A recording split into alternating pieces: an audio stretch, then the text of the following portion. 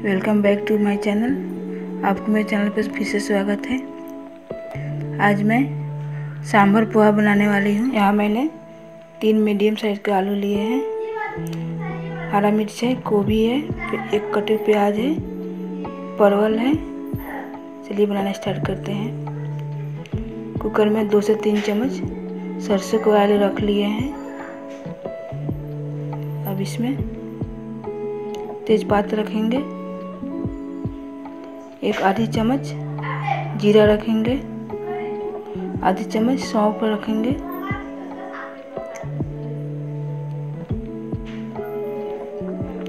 प्याज को हल्का ब्राउन होने तक भून लेंगे।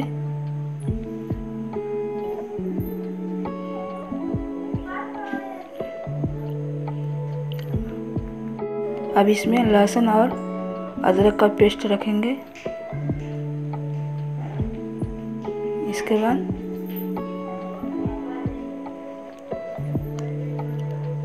एक चम्मच हल्दी रखेंगे। दो चम्मच धनिया पाउडर रखेंगे।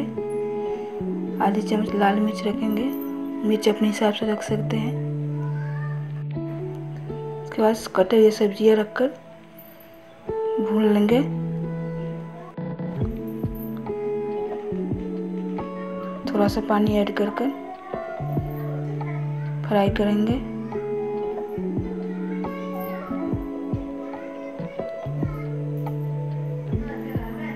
देखिए इसका कलर भी चेंज हो गया है।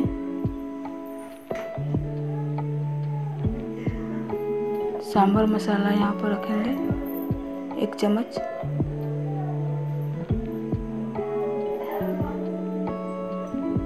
अब इसमें दो कप पानी रखकर, चार से पाँच सीटी तक इसको पकाएँगे। नमक स्वाद के अनुसार रखेंगे। अपने हिसाब से रख सकते हैं।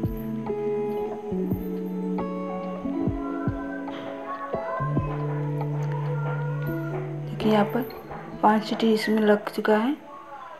सांभर बनकर तैयार हो गया है।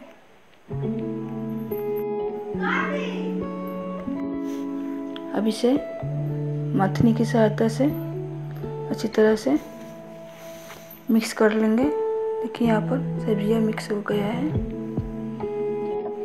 दूसरे बर्तन में निकाल कर रख लेंगे। कितनी अच्छी खुशबू आ रही है यमी भी लग रही है।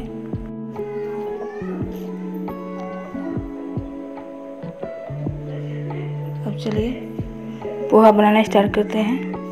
पोहे बनाने के लिए यहाँ पर मैंने दो कप पोहा लिए हैं इसको। धो लेंगे। देखिए यहाँ पर। कढ़ाई में पहले बादाम को हल्का ब्राउन होने तक इसको फ्राई कर लेंगे। देखिए यहाँ पर हल्का ब्राउन हो चुका है। अब इसे दूसरे बर्तन में निकाल लेंगे। इसमें दो बड़े चम्मच सरसों का ऑयल रखकर लाल मिर्च को रखेंगे।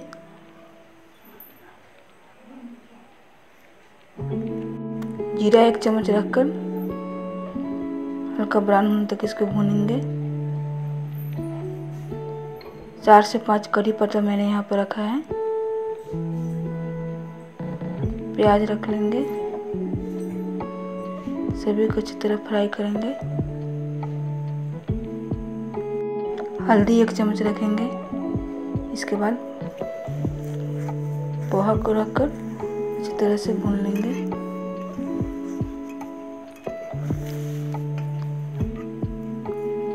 देख सकते हैं।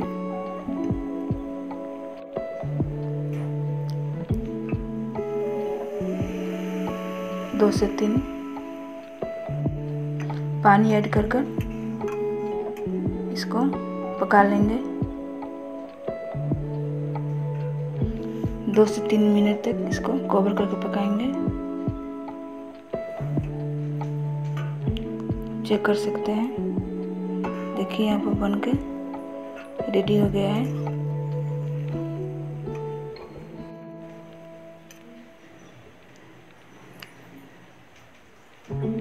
थोड़ा सा नमक इसमें रखकर इसको अच्छी तरह से मिक्स कर लेंगे।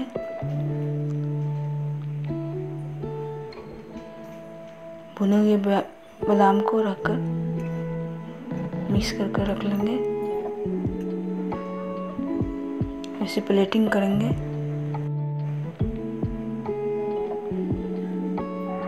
सेवई इसमें रखकर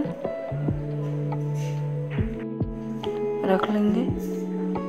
यहाँ पर सांभर मैंने रख लिए हैं।